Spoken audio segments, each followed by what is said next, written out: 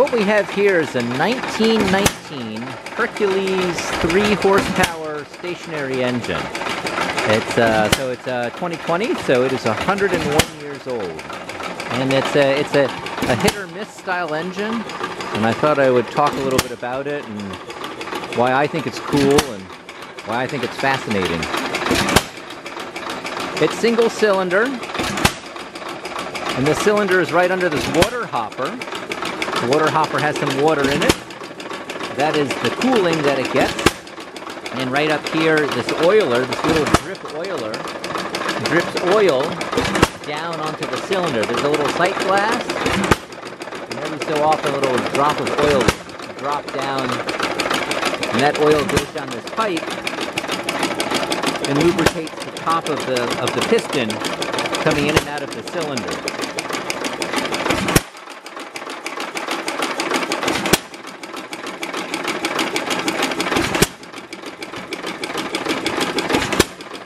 Here's the end of the connecting rod, moving the crankshaft.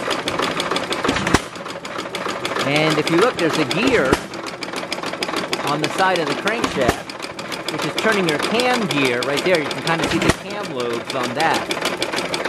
And then that cam gear is actually turning another little gear that is spinning a governor. The governor there has the weights that are spinning, kind of blurry there. And if you look, the cam gear has a little roller follower. That's the follower on the push rod. And so what happens is that push rod is held forward until the speed of the engine declines enough, in which case the, uh, the roller goes back to push against the cam, and the cam operates the exhaust valve, which makes a stroke.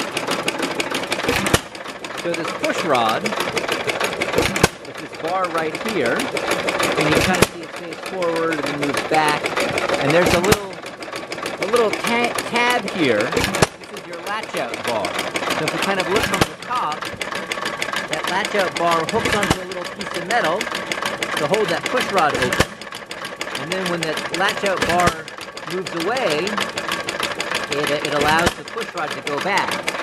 And in fact, that latch out bar is operated by that plunger on the end of that governor.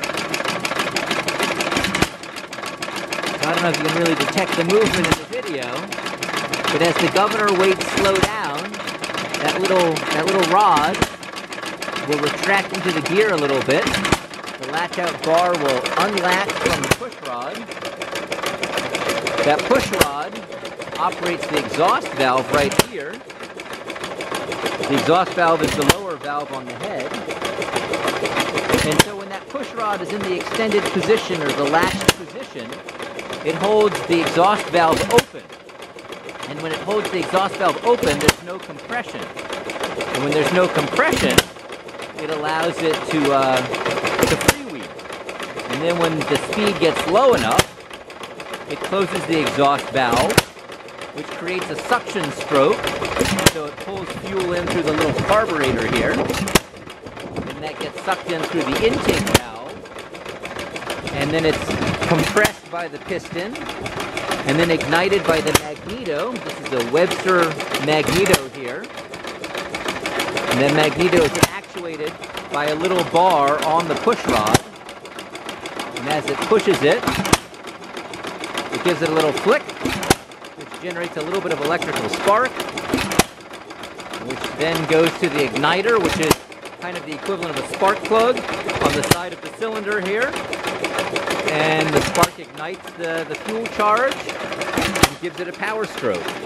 And then the power stroke gives it enough power to freewheel a little bit more, and the whole cycle repeats itself.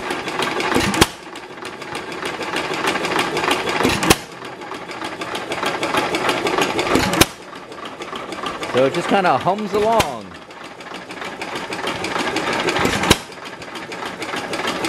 Original paint, not much of it left, but a nice green. And of course it's got a, uh, a pulley on the side of the flywheel here. The pulley would be for a belt to drive some sort of equipment, whatever equipment you wanted.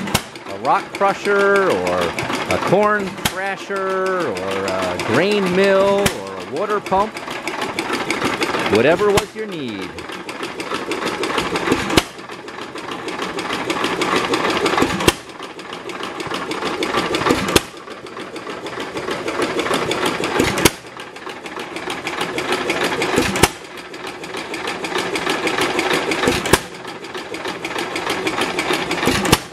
All right, I'm going to uh, turn it off for a minute here by shutting the fuel, shutting the needle valve. There's a needle valve carburetor.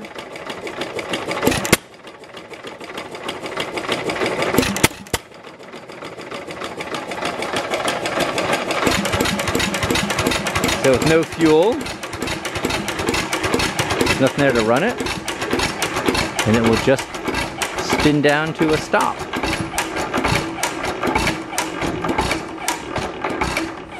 Then I can show you some more of the, uh, the interesting parts on it. So yeah, it's just mildly warm to the touch around the cylinder here.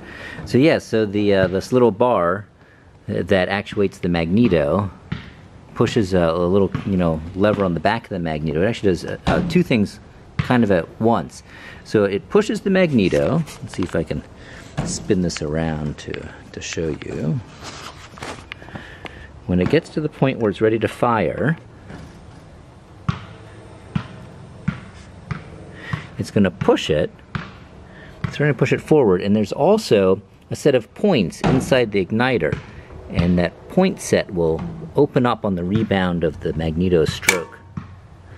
So what happened is on that first click, this part of the magneto uh, rotates, and this is a horseshoe magnet with uh, copper windings inside, so it creates an electromagnetic uh, pulse of electricity, which is then transmitted through the wire to the to the igniter or to the points, and then this little lever here this this um, opens up the point gap just a little bit. So the points are closed, and so the, it's timed so that it opens up the point gap right when the spark comes. The spark bridges the gap, makes a little jolt of electricity that's really hot, and ignites the fuel. There's um, again here's a better view of that latch out that latch out bar that hooks on the uh, on the push rod here, and um, let's see if we can get that in focus and there's a little lever on the side here. So this lever is a kind of like a spring-loaded tension for that latch-out bar, and that's actually how you control the speed, the RPM. And here's that the, those governor weights right here. And those governor weights again push that little pin behind the gear there.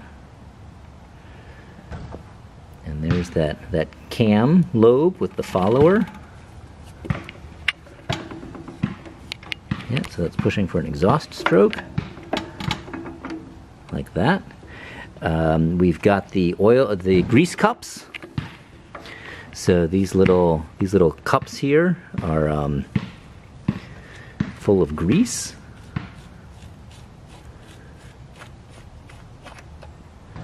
a bunch of grease there.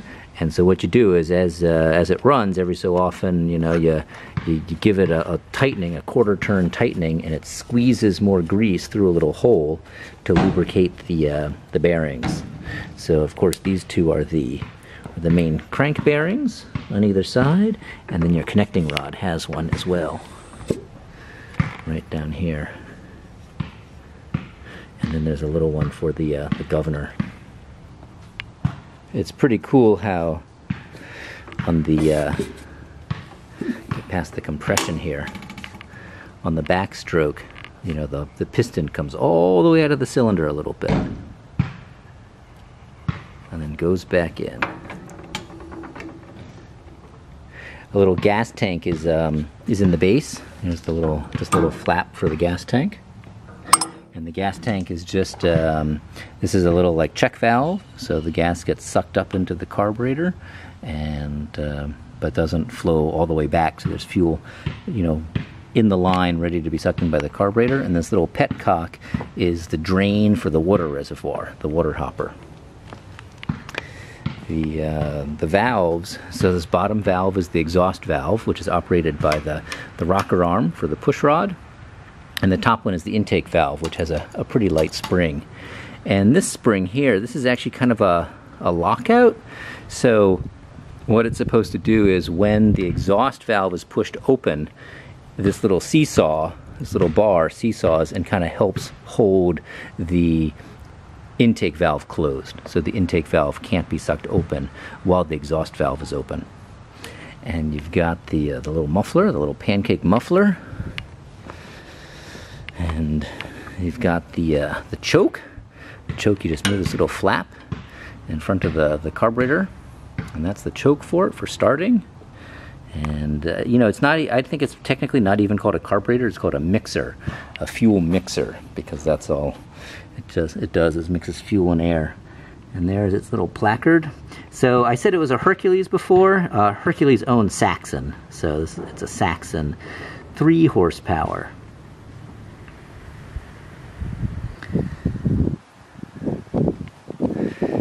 Have it. 101 year old engine. Let's see if we can start it back up.